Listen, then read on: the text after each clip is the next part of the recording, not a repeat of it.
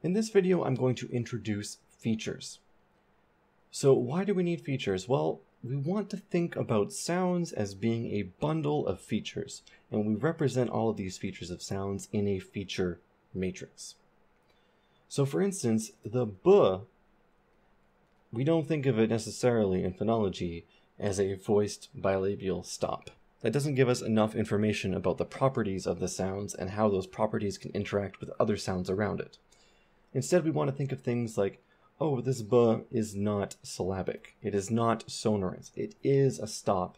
It is not a nasal. It is labial. It does have voice. So we can represent all those things in what we call a feature matrix.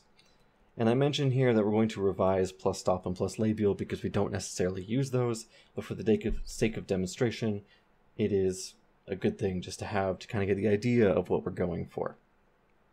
And these feature matrices will help when we talk about allophonic variation and rules. So for instance, we've already seen that the alveolar n becomes dentalized before dental fricatives. So maybe there's some feature of a dental fricative that we could say spread to the n, and then that causes the n to be dentalized. So if we have features, uh, when we get to feature geometry in the future, we can talk about some sort of spreading like that.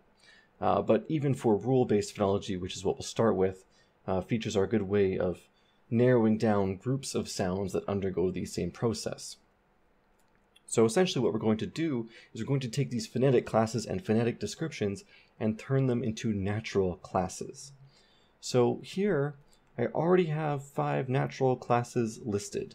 Vowels, glides, liquids, nasals, and obstruents. So obstruents would be things like stops, fricatives, and affricates. Essentially, they're everything that's not listed as vowels, glides, liquids, and nasals.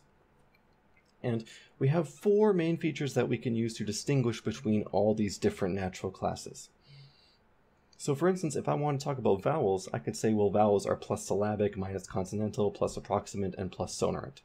If I want to talk about liquids, I could say they're minus syllabic, plus consonantal, plus approximant, and plus sonorant. Okay, so first of all, what do these four features mean? Well, plus syllabic just means it can function as the nucleus of a syllable, meaning that syllables are built around these sounds. And typically, these are just vowels. So vowels are plus syllabic. There are some special cases in a word like bottle and in a word like button where the ul and the n, which are liquids and nasals, become syllabic. In other words, the syllables are built around. We call these syllabic L's or syllabic N's, uh, but we'll ignore them for the sake of the chart. But if you were to say, oh, what is the feature of a syllabic L? You'd say it's plus syllabic. So that's what syllabic is. In fact, if we want to talk about just vowels, because vowels are the only thing that's plus syllabic, we can just define vowels as the natural class of plus syllabic sounds. So we don't need to add minus consonantal plus approximant plus sonorant because that's redundant. Okay, so that's plus syllabic. What about consonantal? Well, a sound is plus consonantal if there's constriction in the vocal tract. So liquids ul, er, you know there's constriction there. Nasals, very clearly, uh, air doesn't go through the vocal tract at all, it goes through the nasal cavity. So there's an obstruction there, and an obstruents, stops, fricatives, affricates. Uh, it's either very tightly constricted or it's closed completely, and that is an obstruction. So if there is an obstruction, it is plus consonantal. If there's no obstruction, such as an E or Y, then it's minus consonantal. Okay, what about approximant? Well, approximant just includes vowels, glides, and liquids. It does not include nasals and obstruents. So it's kind of similar to consonant. In fact, we say, well, if it's minus approximant, then there is some obstruction or very close obstruction. Uh, but in the case of liquids like ul and er, uh, there's not as much obstruction there. So this is plus approximant. In other words, it's really just a category that we can use to help separate uh, liquids and nasals and glides in terms of the features. So for instance, if I want to talk about just liquids, I could say, well, these are the plus consonants plus approximants. If I didn't have plus approximant, I might have to say plus consonantal plus sonorant, but then that confuses the liquids with the nasals. I could say, well, it's uh, minus syllabic plus consonantal, but again, I'm confusing it again, so approximant is a pretty good term that we use to separate the liquids from the nasals. Finally, plus or minus sonorant. Well, we can think as minus sonorant just having a noticeable turbulence in the oral cavity. So in other words, there is absolute obstruction in the oral cavity. Uh, so in the cases of nasals, so there's no imbalance of air pressure in the vocal tract that may cause turbulence. So in other words, mm, there isn't a release of air in the mouth. There's no turbulence being caused by the mm because the air is going through the nose. While in t, well, we have the turbulence at the release of the t. In b, again, we have that turbulence, the release. In fricatives, of course, we have turbulence there. So uh, minus sonorants, we can think of minus sonorant being obstruents. So if we want to talk about obstruents, we can just write minus sonorant. Okay, so here's the question. I want to classify the nasal sounds using these four features, but without being redundant. How do I do that? Well, one way we can do it is just kind of to draw a line here, and we can think, okay, which two, three, or four features can we use to just classify these sounds? And what I see right here is I can think of nasals. Well, nasals are minus approximant. And if I just write minus approximant, well, that's the natural class of nasals and obstruents. But I want to get rid of the obstruents, and I say, well, look, nasals are sonorant, obstruents are not. So this would be plus sonorant. So if I just want to talk about nasals, I could talk about the minus approximant plus sonorant feature bundle.